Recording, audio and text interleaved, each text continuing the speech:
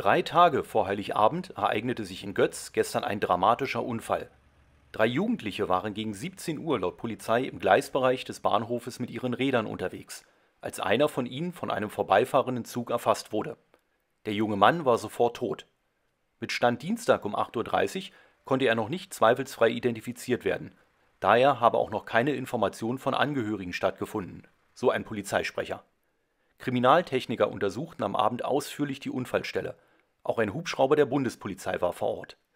Die beiden Bekannten des Verunglückten wurden seelsorgerisch betreut. Der beteiligte Regionalzug war mit 200 Personen besetzt. Nach bisherigen Informationen wurde von den Fahrgästen niemand verletzt